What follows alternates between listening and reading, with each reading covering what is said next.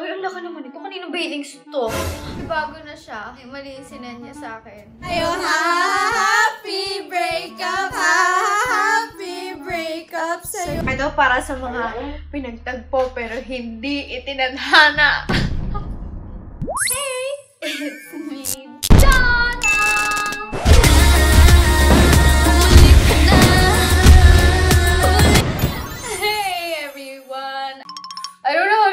this, but um, since araw ng mga patay ngayon, paglalamayan natin ang patay kong puso! It's your first time hearing this from me. Oh, naiyak ako agad kasi I have been avoiding this for a really long time and the time has come. I am unboxing stuff my ex returned to me. Some of you probably are like, oh, what? She was with someone? I was very open about being with someone. Private talaga yung relationship namin because this um person I'm with isn't really um into being known. Alam mo yun? I mean, being with me, if you're a private person, you know, you can't be a private person anymore.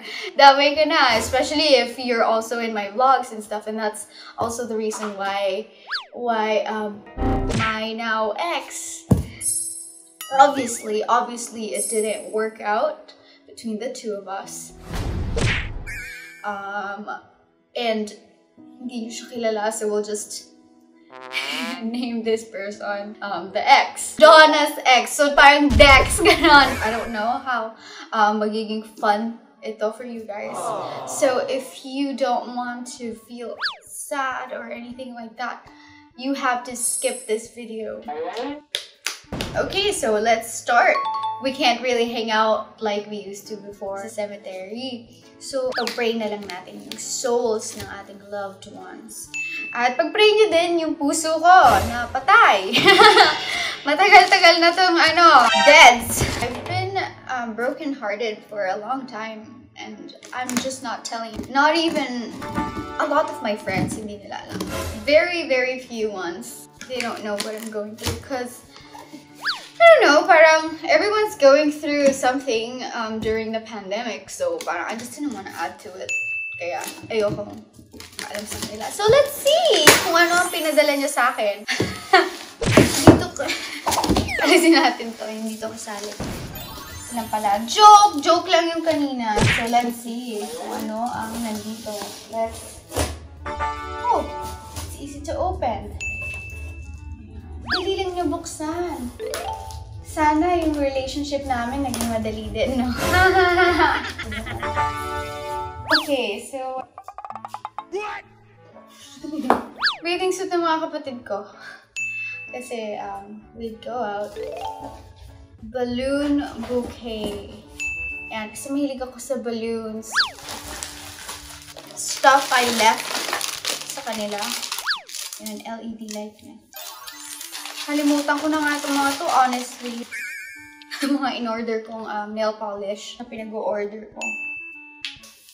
Ano kaya to? It's a box within a box. What's in here?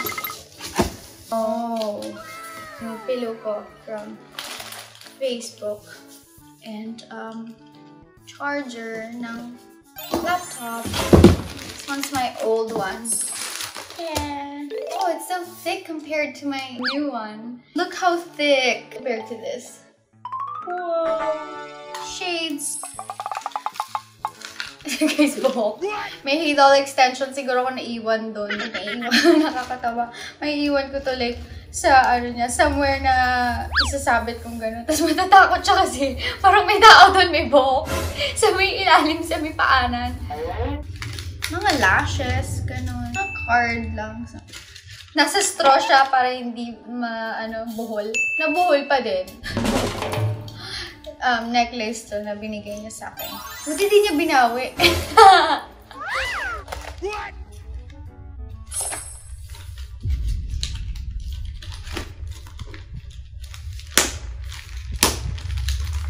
um, ito, mga BTS na keychain.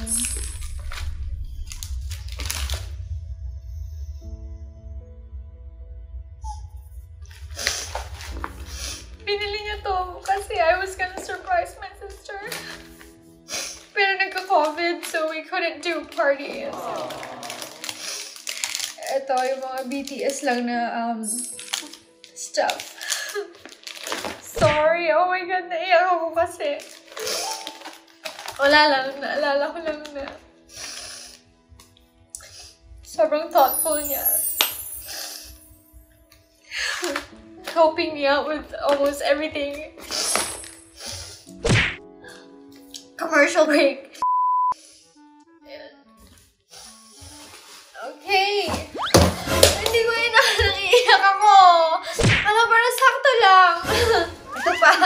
Meron pang cups, guys. Siya yung tumulong sa akin para dun sa BTS party sana ng kapatid ko. Filter for yung mic. So, hindi ko maalala in-order ko to. Siguro in-order niya for me. Oh, it's so nice. It's white. I like it. I'll be able to use this. Thanks. Nipple tape, mo gamit na gamit na iba na yung kulay.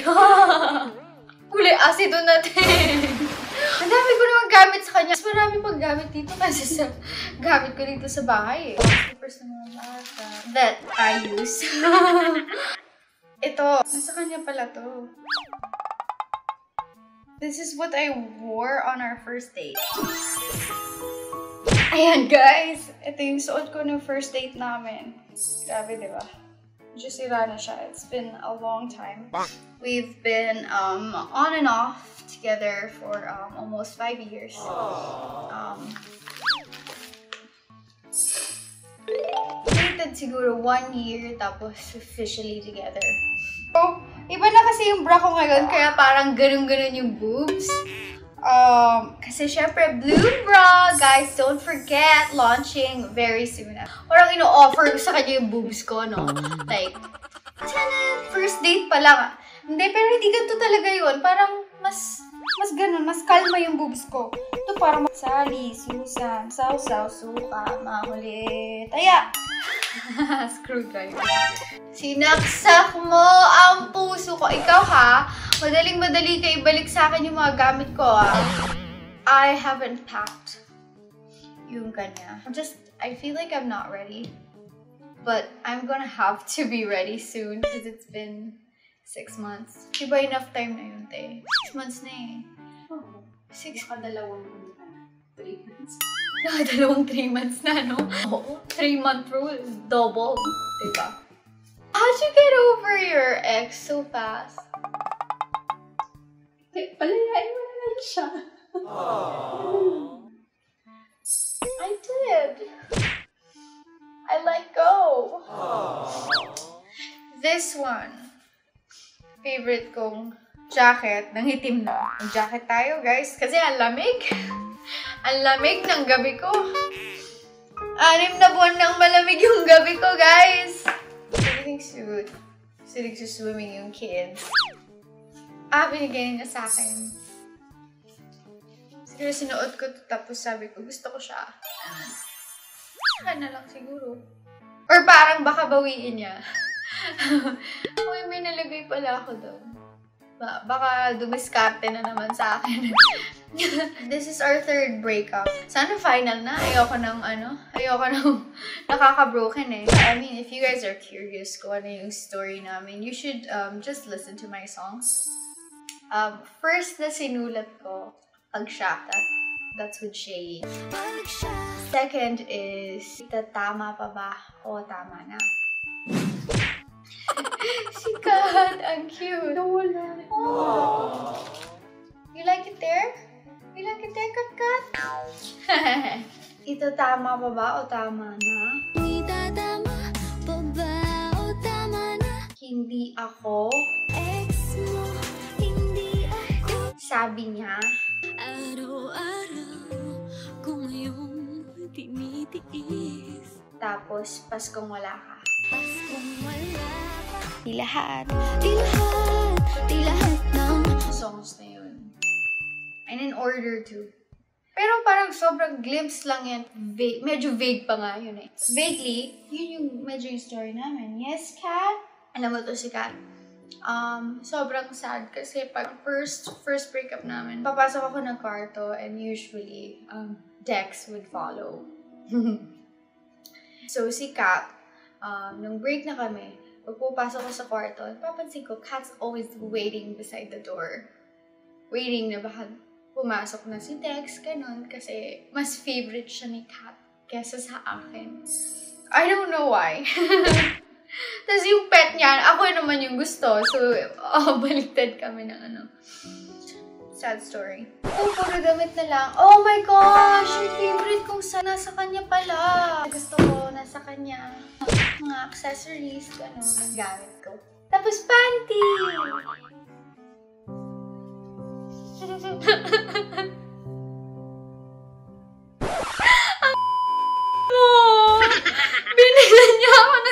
ng and panty. Sabi ko sa kanya, binibiro niya ako kasi bibilan daw niya akong panty, so and panty. Sabi ko, ayoko ng so and panty. Gusto ko yung ano, sexy na mga panty. Binilan niya pa rin ako ng so and panty. Pinapaiyak niya ako siguro, no? Wala namang ganun. Ilang beses mo na ako pinaiyak. Di ano. Don't think na parang masamang tao siya. na Ilang beses niya ako pinapayak. No, um, it's just our relationship so complicated. We tried several times and every time naman, I feel like I'm loved better. But I realized kasi there are things in my life that's just not fit sa life niya. So um, we we tried to uh, make it work so hard, but we just ended up hurting each other. So,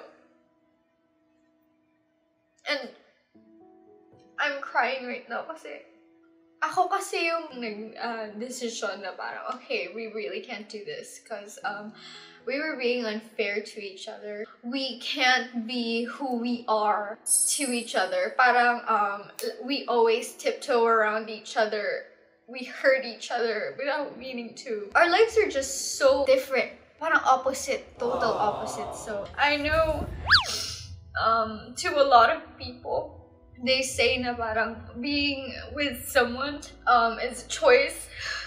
And I've chosen, I've chosen to be with this person for a long time. But it just, it's just we love each other but we're not right for each other they say that it's hard to hold on i feel like it's much harder to let go i mean letting go of the hope that you two are right for each other is so difficult letting go of hope um, that you two will work out is so hard okay let's move on lang ya may pa so and panty ka pa ha pero not bad nag-improve na pala ang so and panties Ako kasi yung mga so and panties, yung mga flowers, flowers, ganun. Di ba, te? Kasi mga ganito yung mga pinapanty ko. Ko. Oh my gosh, huwag mo pakita. I-blur mo yun. I-blur mo yun, ha? Bathing suit ko ata. Ay, ang laka naman ito. Kanino bathing suit to? Ha? Hala, may bago ka na? kasi, di akin to. May bago na siya. May bago ka na, no? Okay lang naman.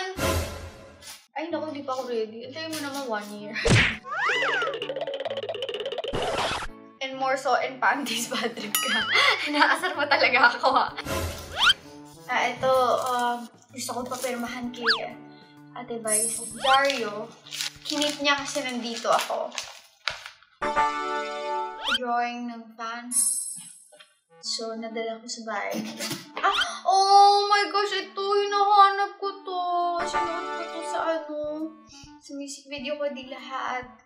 Guys, puro clothes na lang. To Haydol ribbon. Sando-sando ko. Kinulang sa tela. Ayan na guys, kinukuha na ni Ate Lina ang pasabog. Tingnan nyo, may pasabog siya! Tingnan nyo!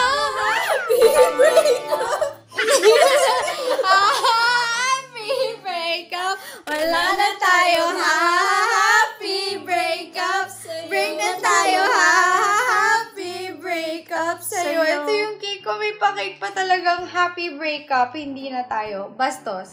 Tama ka, bastos. Ito ang happy breakup cake ko, guys. Ano, di mo alam na binalik na niya yung mga gamit ko? Akala ko hindi ka nila yan. Hindi pa na yan. Oo, sabi ko. te. Binalik na niya lahat ng gamit ko. Ready na talaga siya mag-move on. Ah, samantala ako, hindi ko pa na-empake yung mga gamit niya dyan. Hindi na lang. Wala na, hindi na niya ako mahal. Usap naman na.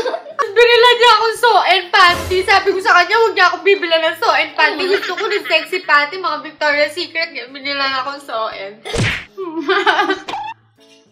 Naiyak ako ate. Parang kung nga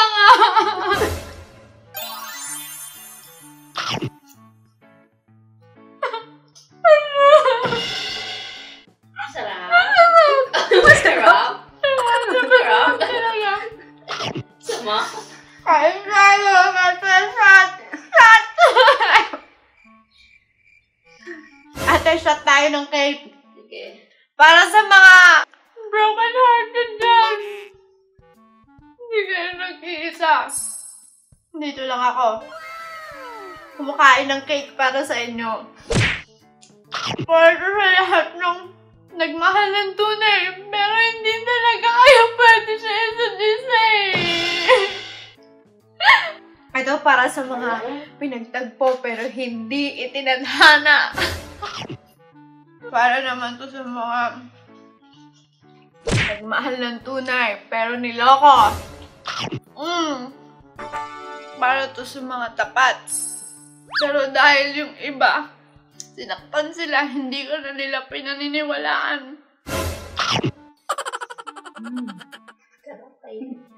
Para to sa mga iniwan. Ito, para sa mga nagpalaya.